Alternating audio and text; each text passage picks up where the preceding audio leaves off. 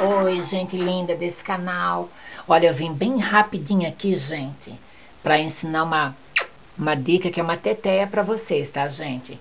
A gente está tendo esses tutoriais curtinhos porque ele é de extrema necessidade para quem vai fazer pano de cópia e afins. Então, assim, ó. Ai, eu não tenho pé de franzia, Amanda. Como é que eu vou fazer um franzido tão lindo? Gente, acabou o problema.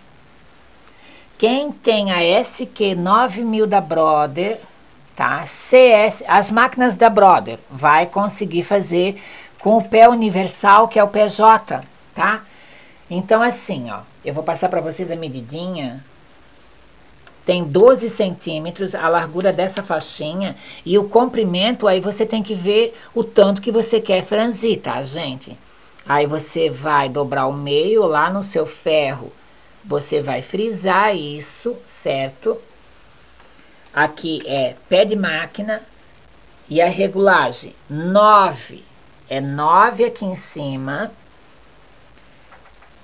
ponto 01, sapatilha J, 4,5 aqui e aqui embaixo não mexe. Tá bom, gente? Então, assim, olha só. Qual é o segredo desse ponto?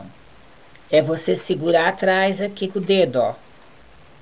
Você vai colocar o dedo aqui atrás e segurando, que daí vai franzindo, tá bom? Eu vou fazer um... Eu vou franzir essa faixinha. E já conversamos mais.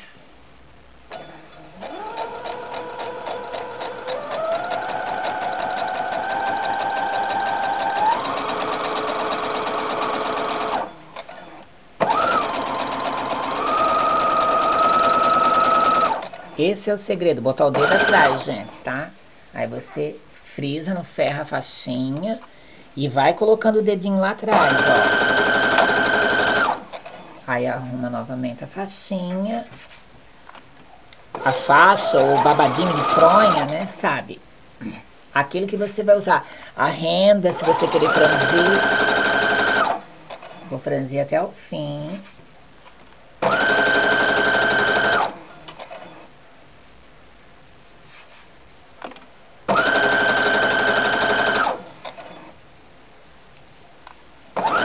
Inclusive eu vou usar essa faixinha para um outro tutorial. Aí aqui arremata um pouquinho.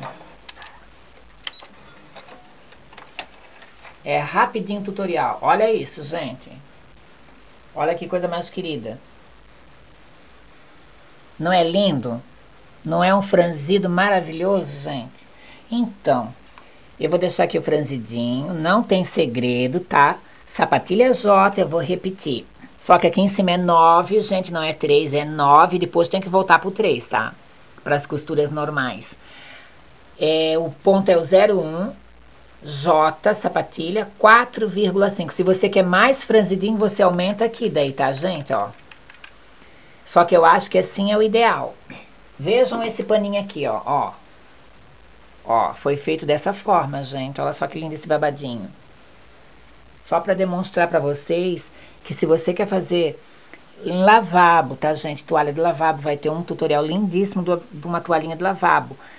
Ai, tem tanta coisa, eu, eu até, como é que eu vou dizer? Eu fico sem palavras, porque o babado se faz em fronha, se faz em avental, é, toalhas de banho, então é, é, a infinidade é grande, gente. Então, hoje eu passei rapidinho para ensinar vocês como se franze sem o pé franzidor. É pé normal J, tá bom, meus amores?